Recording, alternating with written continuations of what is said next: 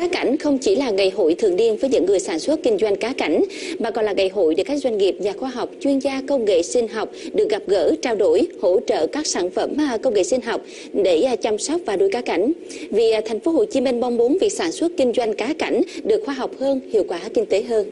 Vâng và do đó thì tại triển lãm lần thứ tư trong năm nay, mới đây thì ngoài việc giới thiệu các loại cá cảnh đặc sắc để triển lãm thì thành phố Hồ Chí Minh còn dành riêng ra một khu để giới thiệu các sản phẩm ứng dụng công nghệ sinh hoạt liên quan đến việc nuôi và chăm sóc cá cảnh. Những sản phẩm này thu hút khá nhiều những nghệ nhân và các đơn vị sản xuất kinh doanh cá cảnh quan tâm.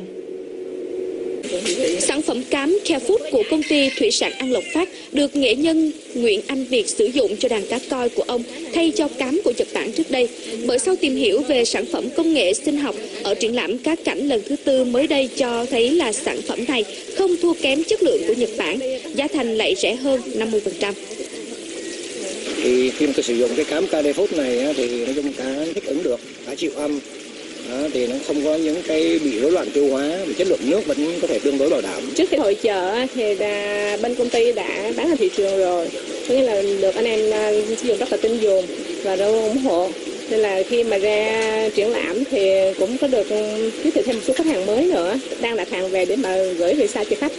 Thành phố Hồ Chí Minh đang hướng đến mục tiêu là đến năm 2020, sản lượng sản xuất cá cảnh dự kiến sẽ đạt khoảng là 150 cho đến 180 triệu con, xuất khẩu đạt từ à, 40 cho đến 50 triệu con, còn à, kim ngạch xuất khẩu đạt 50 triệu đô la Mỹ.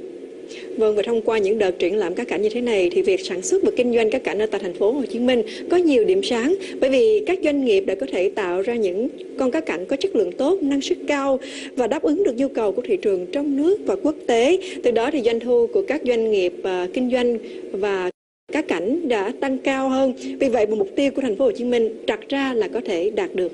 Vâng và đến đây chương trình toàn cảnh cũng xin được kết thúc. Xin kính chào tạm biệt quý vị và các bạn.